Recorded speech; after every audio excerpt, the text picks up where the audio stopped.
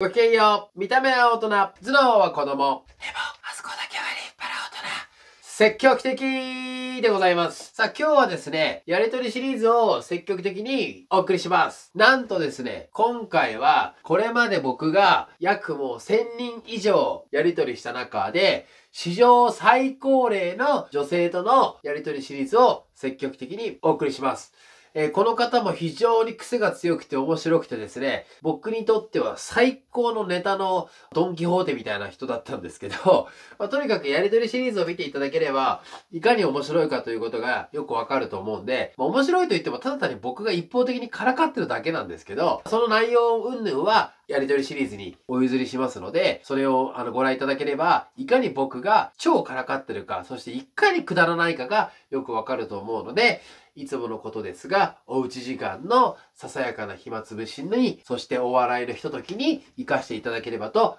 思います。老婆だって恋がしたいのやりとりシリーズ。それでは、積極的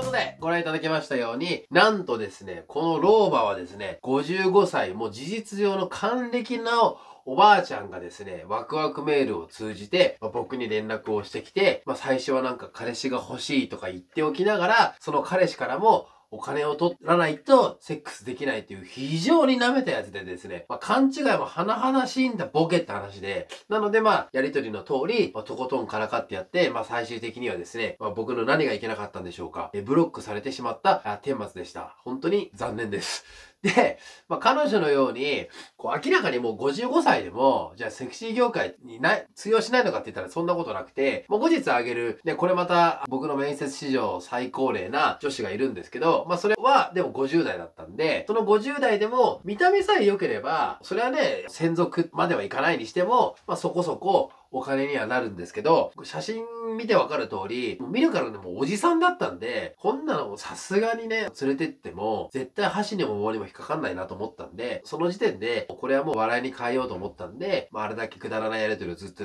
続けてたんですけど、ちなみに、やりとりシリーズの原点は、当時っていうかまあ今でもやってるんですけど、インスタグラムのストーリーに上げるように僕は始めたんですけど、これ面白いなと思って。で、最初当時使ってたあのアカウントが、あの、赤バンされちゃいまして、あの、はげ、いろいろ激しい、際どいことやってたらですね、多分あの、嫌がらせ通報が行ったと思うんですけど、何回もイエローが来て、したらある日を境に、いきなりログインできなくなって、そのまま異議申し立てをしたんですけど、一切返事来ないんで、もう仕方なく新しいアカウントを作って、今の積極的ってアカウントがあるんですけど、もともとはそのやりとりシリーズは、あインスタグラムのストーリーで、あの、ネタにするために始めたのがきっかけで、当然 YouTube を意識してなかったんで、まあ逆を言えばですね、今思うと、わざわざインスタのために一生懸命編集してあげてた当時がですね、ほんとなんか後悔してるというか、初めからこれだったら YouTube に上げた方がよっぽど良かったなって今、今つくづく後悔してるんですけど、なので、本当はこのネタもストーリーに上げようと思ってたんですけど、あの、ずっと貯めておいてですね、なかなかあの、あの、インスタだとご存知の通り、あの、1コマ15秒、マックスでも1分しか上げられないんで、これらを切ってですね、あの、編集しなきゃいけないって結構労力大変だったんで、ほんとさっき繰り返しますけど、その労力をですね、つくづく YouTube の方に活かした方がよっぽど良かったんじゃないかなって今、つくづく後悔してるんですけど、っていうように、まだまだあの、上げられ、上げてない、要は、たくさんのやりとりシリーズもありますし、同様面接シリーズも、あの、たくさんございますので、今後もこ時間の、あの、許す限りですね、どんどんアウトプットしていきますんで、皆さん期待して待っていただければと思います。ということで、本日も長々とご視聴いただき、誠にありがとうございました。この動画がいいなと思った方は、グッド評価とチャンネル登録を積極的にお願いします。ということで本日も皆さんにとって、積極的